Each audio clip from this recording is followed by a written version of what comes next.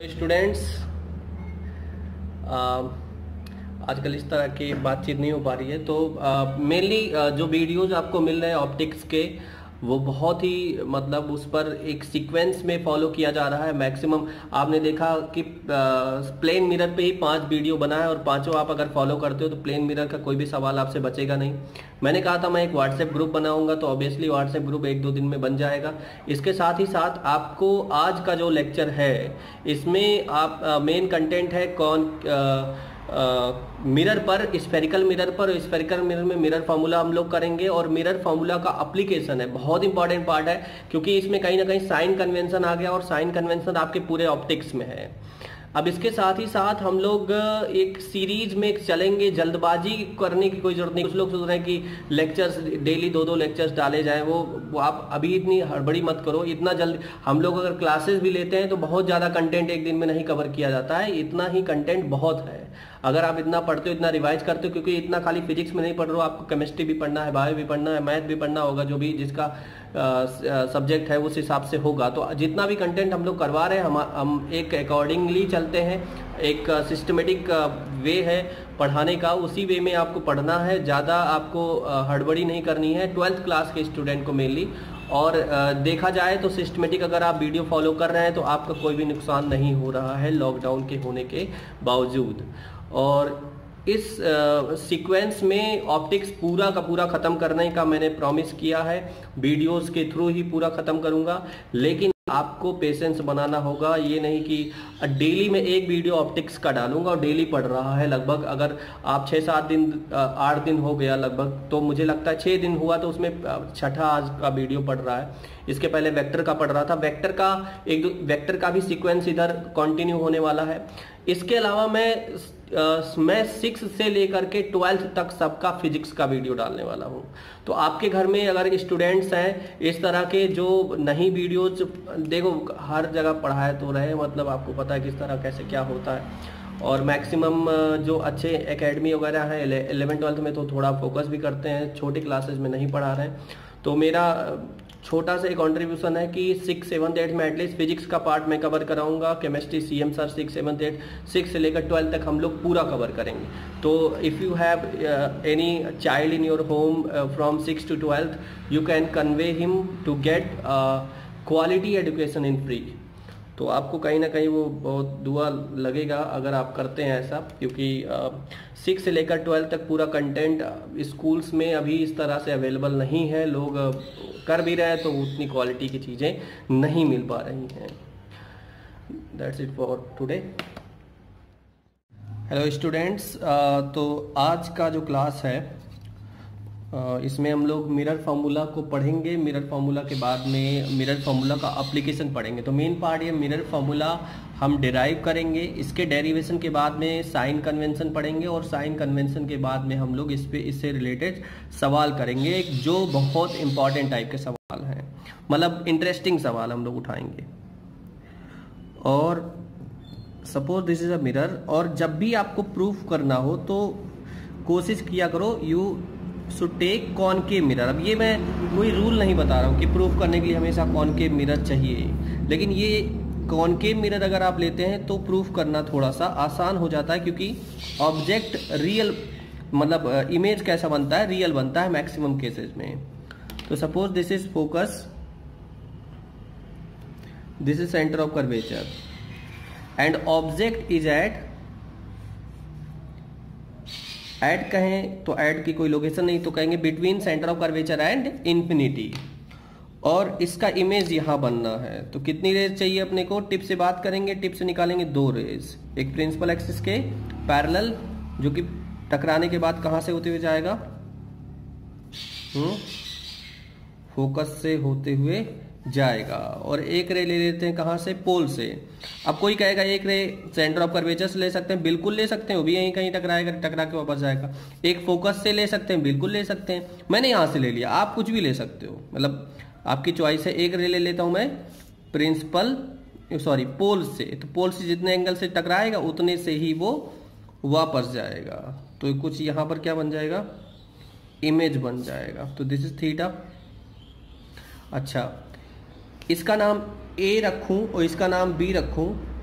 Sorry तो B रखो खाली। बी डैश तो क्या ये बी डैश बन गया? अगर ये बी डैश बना तो यहाँ इसके जस्ट नीचे क्या बन जाएगा? इसके नीचे वाला इमेज यहाँ बन जाएगा और इसके जस्ट नीचे वाला इमेज यहाँ बन जाएगा। तो ए डैश का इमेज कहाँ बन जाएगा? यहाँ तो यहाँ से डायरेक्ट क्या ड्रॉ कर दें? क्या मैं यहाँ से डायरेक्ट परपेंडिकुलर ड्रॉ कर दूँ? तो ये क्या बन गया? इमेज बन गया। इसका नाम क्या होगा? ए डैश बी डैश तो फ़र्स्ट ऑफ़ ऑल ये बनाना तो मैं पहले ही सिखा चुका हूँ तो मैं सिखा क्या रहा हूँ? मैं सिखा रहा हूँ आपको लेंस मिरर फॉर्मूला सिखा रहा हूँ कि मिरर फॉर्मूला कैसे आएगा। तो इसमें नाम रखना बहुत इंपॉर्टेंट है। एक परपेंडिकुलर मैं यहाँ से ड्रॉ करता हूँ, और हम ऐसा मानते हैं वी कंसीडर इसको मैं पी डैश बोलता हूँ। और हम ये मानते हैं कि ये कर्वेचर इतना बड़ा है कि पी डैश एंड पी दोनों क्या है? सेम है। मतलब इनके बीच की डिस्टेंस क्या है? बहुत कम है तो लगभग इक्वल है। दोनों ही मतलब एक ही पॉइंट है। वी अज्यूम दैट एक ही पॉइंट है मतलब अगर मैं आपसे बोलूँ पी एफ़ बोलूँ और आपसे बोलूँ पी एफ़ डैश बोलूँ तो दोनों बातें लगभग एक जैसी हैं। अच्छा पोल से फोकस की डिस्टेंस को क्या बोलते हैं? फोकल लेंथ तो इसको हम लोग एफ़ से बोला करेंगे। अच्छा यहाँ पर एक बात और है। हमें क्या प्रूफ करना है? हमें प्रूफ करना है ऑब्जेक्ट डिस्टेंस ऑब्जेक्ट डिस्टेंस तो ऑब्जेक्ट डिस्टेंस कहाँ पर है? यहाँ पर ऑब्जेक्ट है। पोल से ऑब्जेक्ट तक की तक की डिस्टेंस को कौन सा डिस्टेंस बोलते हैं? ऑब्जेक्ट डिस्टेंस तो ऑब्जेक्ट डिस्टेंस को हम लोग यू से रिप्रेजेंट करते हैं। यू इमेज डिस्टेंस यानी कि वी तो इमेज यहाँ पर बना है तो इमेज पोल से ही लेंगे मेजर करेंगे। तो इमेज डिस्टेंस यानी कि वी एंड फोकल लेंथ यानी कि एफ़ फोकल लेंथ ये यहाँ तक है। फोकल लेंथ यानी कि एफ़ के बीच में रिलेशन। क्लियर है या नहीं क्लियर है?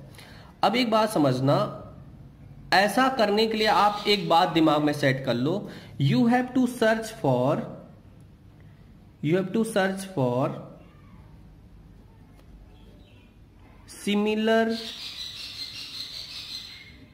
triangle ऐसे केस में आप एक बार नहीं तो बैठ के दिमाग लगा कि कैसे होगा प्रूफ ऐसा नहीं। आप दिमाग में सेट कर लो कि आपको क्या सर्च करना है सिमिलर ट्राइंगल सर्च करना है। और सिमिलर ट्राइंगल कहाँ मिलेगा? यहाँ पर देखना ए बी पी ये तो चैनल का नाम हो गया। A B P triangle A B P news देख रहे हो आजकल। And triangle A dash B dash P are similar triangle कुछ लोग को दिख ही नहीं रहा कहाँ है A dash B dash this is A B P and this is A dash B dash P क्यों? ये एंगल बराबर है.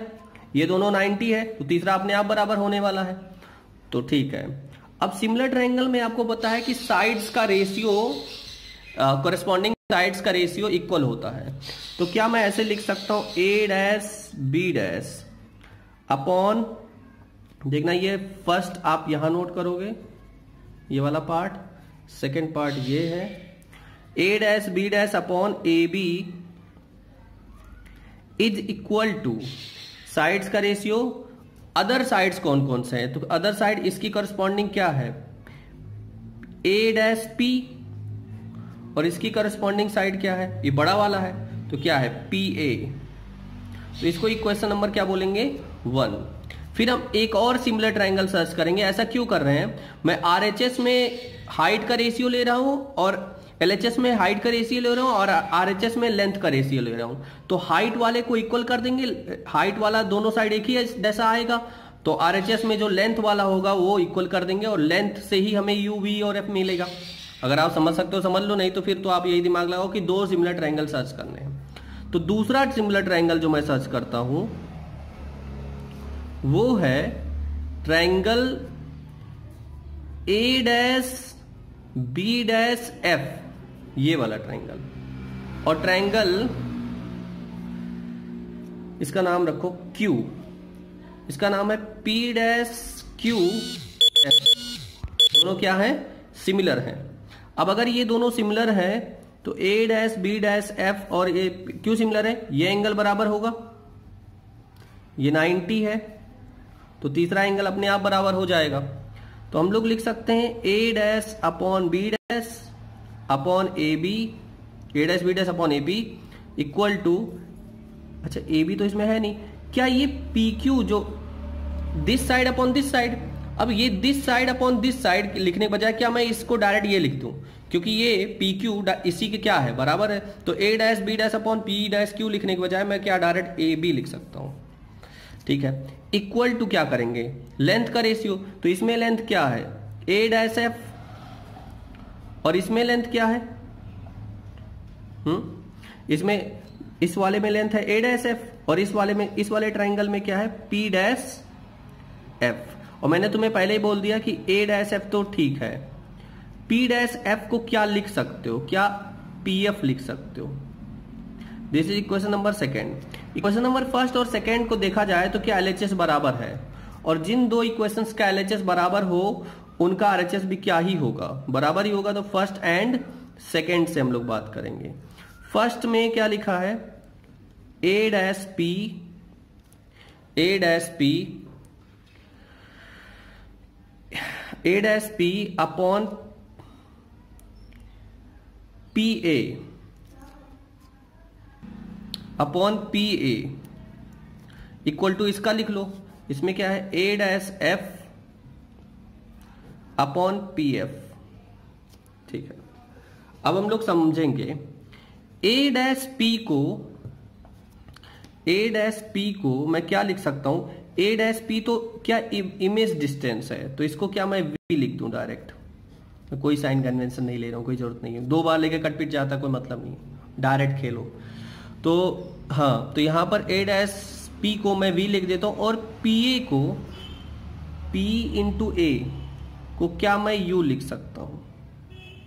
Okay A dash F A dash F को दो पार्ट में डिवाइड कर सकता हूँ। मैं लिख सकता हूँ पी ए डैश इतना ए डैश एफ़ इतना है और इतने के लिए क्या पूरे में से ये माइनस कर दें? मान लो ये है टेन और ये है फाइव तो ये कितना बचेगा? फाइव तो ये पूरे में से P A dash minus P F और पी एफ़ को एफ़ ऑलरेडी लिख चुके हैं। तो यहाँ से, यहाँ पे करता हूँ मैं। V by U equal to P A P A dash को क्या लिख सकते हैं? V. और पी एफ़ को क्या लिख सकते हैं? F. ये भी क्या है? एफ़ है। तो you will get F V U V और यू एफ़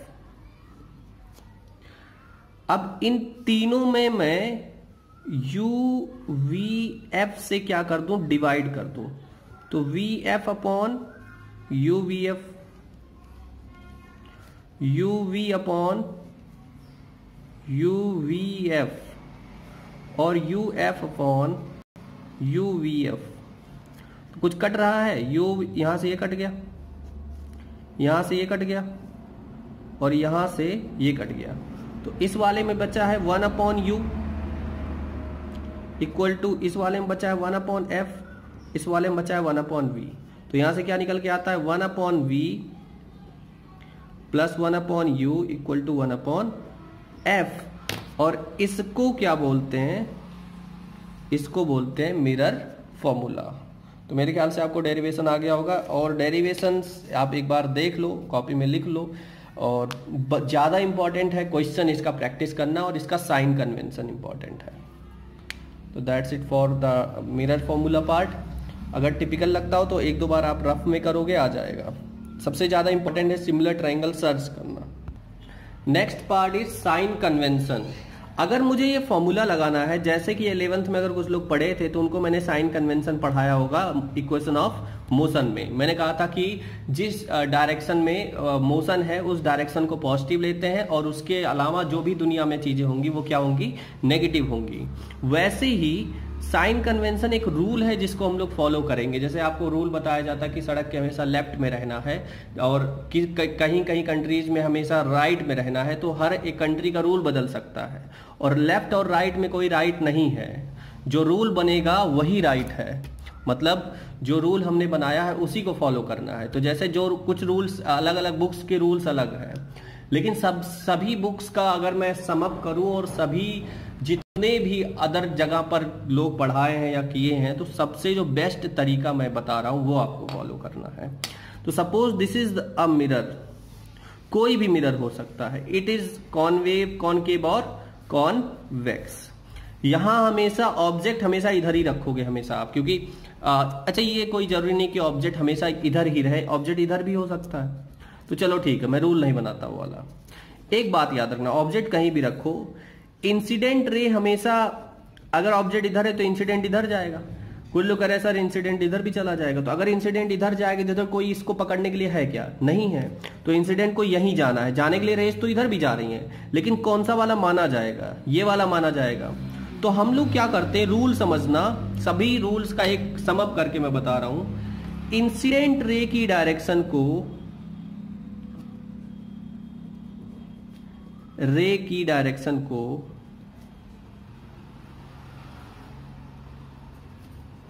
क्या लेंगे? पॉजिटिव लेंगे। मतलब जिधर इंसिडेंट रे होगा, उसको हम लोग क्या लेने वाले हैं? पॉजिटिव लेने वाले हैं और इंसिडेंट रे के अपोजिट इंसिडेंट अगर इधर है तो इसको हम लोग क्या लेंगे? पॉजिटिव और इस वाले डायरेक्शन को क्या लेंगे हम लोग? नेगेटिव ठीक है? और अगर मैं प्रिंसिपल एक्सिस के ऊपर जाता हूँ प्रिंसिपल एक्सिस के ऊपर कोई है तो प्रिंसिपल एक्सिस के ऊपर को लेते हैं हाइट को लेते हैं पॉजिटिव अगर मुझे ऐसे मीजर करना तो लेंगे पॉजिटिव और नीचे वाली हाइट को क्या लेंगे? नेगेटिव ये साइन कन्वेंशन आपको हमेशा फॉलो करना है। तो एक बात समझना इंसिडेंट रे की डायरेक्शन में जो भी चीज़ें ली जाएँगे, उसको क्या लेंगे? पॉजिटिव उसके अपोजिट नेगेटिव प्रिंसिपल एक्सिस के ऊपर पॉजिटिव और नीचे नेगेटिव अब ये सबसे बड़ी इंपॉर्टेंट है कि ये सब लेंगे कहाँ से?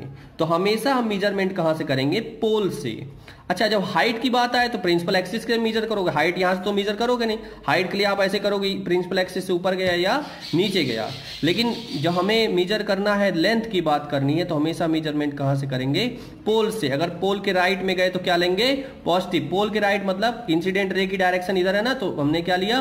पॉजिटिव और इधर क्या लिया? नेगेटिव तो सबसे पहली बात यह है कि जैसे मैं एक एग्ज़ाम्पल लेता हूँ। Suppose this is the mirror this the pole और ऑब्जेक्ट इधर है, ये 10 सेंटीमीटर पर है, और सपोज़ इमेज यहाँ बना है, सही है? ऑब्जेक्ट 10 सेंटीमीटर पर है और 2 सेंटीमीटर इसकी हाइट है, और इमेज की हाइट बन रही है 4 सेंटीमीटर तो अब बताओ मुझे मुझे एक चीज़ बताओ, मुझे बताओ कि u क्या होगा? 10 होगा u ऑब्जेक्ट डिस्टेंस, प्लस होगा या माइनस? ऑब्वियसली माइनस, क्योंकि लाइट रे ऐसे ही तो जाएगा, और लाइट रे की डायरेक्शन ये है तो अगर इधर जाते तो पॉजिटिव, इधर जाते तो नेगेटिव। v क्या होगा? v की डिस्टेंस मैं बता रहा हूँ आपको 20 तो v क्या होगा बताओ? क्या माइनस ट्वेंटी होगा? और f क्या होगा? F पता नहीं एफ़ की वैल्यू मैंने दी नहीं यू भी दिया तो एफ़ निकाल लोगे वो तो पता चल जाएगा। अब बताओ हाइट ऑफ़ इमेज क्या होगा? हाइट ऑफ़ इमेज फोर दिया है, लेकिन प्लस फोर लेंगे या माइनस माइनस क्योंकि नीचे गया है। माइनस फोर सेंटीमीटर और हाइट ऑफ़ ऑब्जेक्ट क्या लेंगे हम लोग? प्लस टू सेंटीमीटर तो एक क्वेश्चन मैं आपके लिए रख दे रहा हूँ यहाँ पर। This is question for you frame करके। दिस इज़ द क्वेश्चन यहाँ पर है।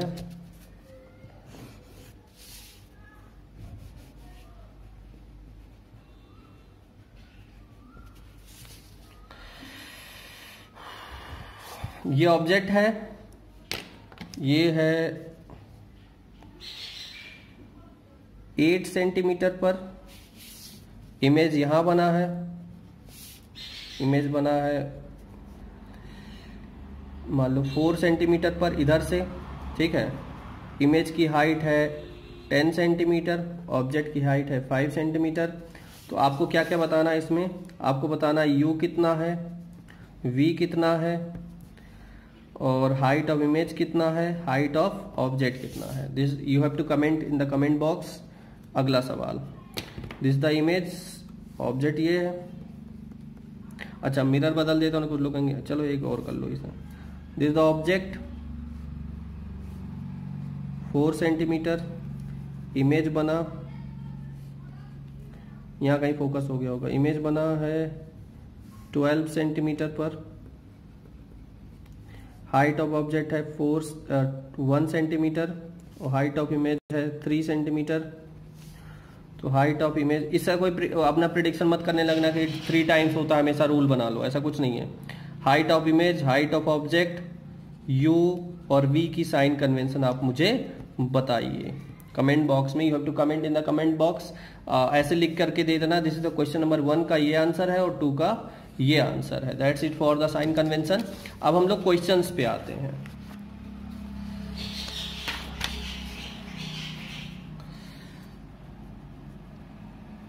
क्वेश्चंस की अगर बात करें तो मैं बहुत ही आसान सा सवाल लेता हूँ ऐसे। मतलब कोई मतलब ये टिपिकल उपकल की कहानी नहीं, बहुत आसान सवाल। अच्छा एक बात बताओ। बहुत सिंपल डिस्कशन हो जाए। ये कॉनकेव है? तो प्रिंसिपल एक्सिस से आने वाली लाइट रेज रिफ्लेक्शन के बाद ऐसे मिलती है। सही है? बताओ। फोकल लेंथ कहाँ से मेजर करोगे? पोल से। पोल से तो मेजर करोगे? पोल से ये डिस्टेंस कितना हुआ? एफ़ के बराबर होगा फोकल लेंथ पोल से फोकस की डिस्टेंस को क्या बोलते हैं? Focal length. तो मुझे बताओ कॉनकेव का फोकल लेंथ पॉजिटिव होगा या नेगेटिव? क्या होगा? नेगेटिव, क्योंकि लाइट रे की डायरेक्शन है इधर और हमें मीजर करने के लिए जाना पड़ रहा है इधर। तो क्या लेंगे हम इसको? नेगेटिव। वैसे ही this is the convex mirror principal ये ये प्रिंसिपल एक्सिस हो गया। और लाइट रेज सपोज़ यहाँ आ रही है। ये लाइट रेज है। प्रिंसिपल एक्सिस से टकराने के बाद लाइट रेज रिफ्लेक्ट होकर कुछ ऐसे गई। तो ऐसा लग रहा है, ऐसे जा रहा है। और एक लाइट रे ऐसे गया। तो दोनों लाइट रेज कभी मिलेंगे नहीं, जो चीज़ें मिलती नहीं, वो पहले से मिल के आती हैं। तो ये पहले से क्या करके आई है? मिल के आई है। और यहाँ पर क्या है? फोकस है। तो ये जो फोकस है, इसको पॉजिटिव लोगो या नेगेटिव? पॉजिटिव। तो फोकल लेंथ क्या आएगा? पॉजिटिव। तो ये बात हमेशा आप याद रखना कि कौन वेक्स का फोकस क्या होता है? पॉजिटिव और कौन केव का फोकस क्या हम लेते हैं? इन जनरल नेगेटिव तो कॉनकेव का फोकस याद करने की ज़रूरत है क्या? क्या आप इससे आइडिया लगा के तुरंत बता सकते हो? कॉन्वेक्स का कॉनकेव का फोकस क्या होगा? नेगेटिव कॉन्वेक्स का फोकस क्या होगा? Positive that's it for the sign convention thing अब एक सवाल मैं करता हूँ। तो क्वेश्चन में ऐसा नहीं देगा कि मतलब कॉनकेव लेंस है और मतलब मिरर है और फोकल लेंथ माइनस टेन है। आपको ऐसे देगा। क्वेश्चन ऐसे फ्रेम करेगा जैसे कॉनकेव मिरर है जिसका फोकल लेंथ है फोकल लेंथ है 20 सेंटीमीटर। फिर क्या बोलेगा? कौन के मिरर है जिसका फोकल लेंथ है 20 सेंटीमीटर? फिर क्या बोलता है आ, फिर बोलेगा कि ऑब्जेक्ट डिस्टेंस ऑब्जेक्ट डिस्टेंस है 10 सेंटीमीटर। तो बताओ इमेज डिस्टेंस बताओ। डिस्टेंस को बताइए। जो जो लोग मतलब थोड़ा बहुत सीख गए हैं वो स्क्रीन को पॉज करें और सवाल आ, का आंसर करके देखें देन चेक द सोल्यूशन ऐसे तुरंत चेक मत किया सोल्यूशन मत देखने लगा करो। हाँ मुझे लग रहा है कि आप लोग कर चुके हैं तो आंसर चेक करिए। यहाँ पर मैं क्या बनाता हूँ? कौन के मिरर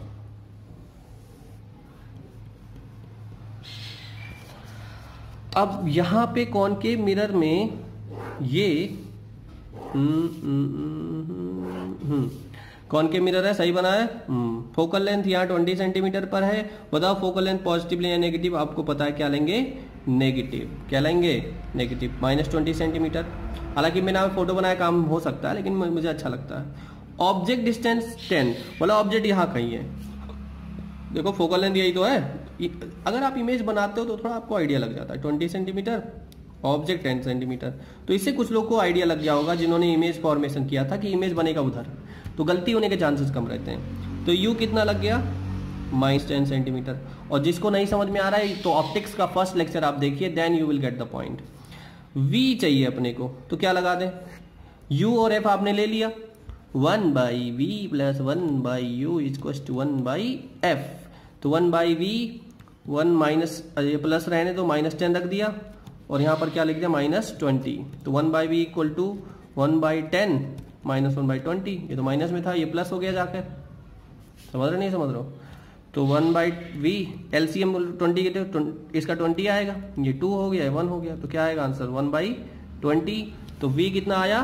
ट्वेंटी। मतलब बनेगा ट्वेंटी प्लस का क्या मतलब है? प्लस का मतलब पोल से आपको इधर जाना पड़ता। अगर माइनस आता तो पोल से आपको लेफ़्ट में जाना होता। तो साइन अच्छा कुछ लोग ये बोलते कि जो जो अननोन होगा, उसका साइन नहीं रखना। जैसे आपने वी का साइन पहले ही रख दिया होता तो आंसर गलत आता। Unknown quantity unknown quantity quantity अपना साइन लाएगा। अपना साइन लाएगा। इतना टाइम आएगा वाला नहीं। दिस इज़ अपना साइन लाएगा। अननोन क्वांटिटी अपना साइन खुद लेके आएगा। उसको साइन देने की कोई ज़रूरत नहीं है। तो गलतियाँ जो होती हैं, कुछ लोग अननोन अगर आपने यहाँ माइनस का साइन दे दिया होता तो वी माइनस आ जाता। क्योंकि आपने खुद माइनस दे दिया तो उल्टा आंसर आ रहा है। इन दिस केस, आपको अननोन क्वांटिटी का कोई साइन नहीं देना है, वो अपना साइन खुद लेकर आएगा। Then read it out first of all आप लोग स्क्रीन को स्टॉप करके रीड करिए देन आपको रीड करवाते हैं। I think you have read it यहाँ पर देखना अ कॉन्वेक्स मिरर पहली बात ये ध्यान से पढ़ना चाहिए। Convex mirror has a focal length F तो कॉन्वेक्स मिरर का फोकल लेंथ हम लोग लेंगे एफ़ अब आप मुझे बताओ कॉन्वेक्स मिरर का फोकल लेंथ पॉजिटिव होता है नेगेटिव क्या होता है? पॉजिटिव कैसे? कॉन्वेक्स ऐसे बनेगा। इसे लाइट रे जाएँगे रिफ्लेक्शन बाद ऐसे जाएँगे ऐसे जाएँगे, ऐसे याद कर सकते हैं। और यहाँ मिलेंगे यहाँ मिलेंगे तो कैसा आएगा? पॉजिटिव तो फोकल लेंथ क्या आएगा? पॉजिटिव तो एफ़ लेंगे मतलब पॉजिटिव मिलेंगे। अच्छा। A real object is placed at a distance F in front of it मतलब अगर मिरर ऐसे है तो एक ऑब्जेक्ट को मैंने यहाँ रखा है, यहाँ पे।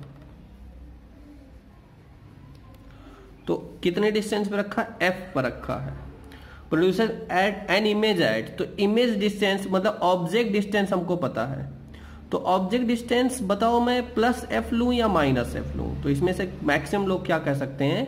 माइनस एफ़ पे लेंगे। तो आप मुझे बताओ one by v plus one by u equal to one by f तो यहाँ वन बाई वी क्या रहेगा?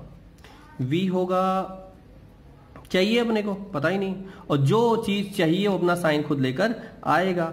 U क्या होगा? U है minus f equal to one by f तो क्या लिखेंगे बताओ? One by v equal to one by f plus one by f f ले लिया एलसीएम तो एफ़ टू बाई एफ़ तो v तो यहाँ से, अगर आप तो यहाँ से v इक्वल टू क्या आ जाए? इसको पलट दो।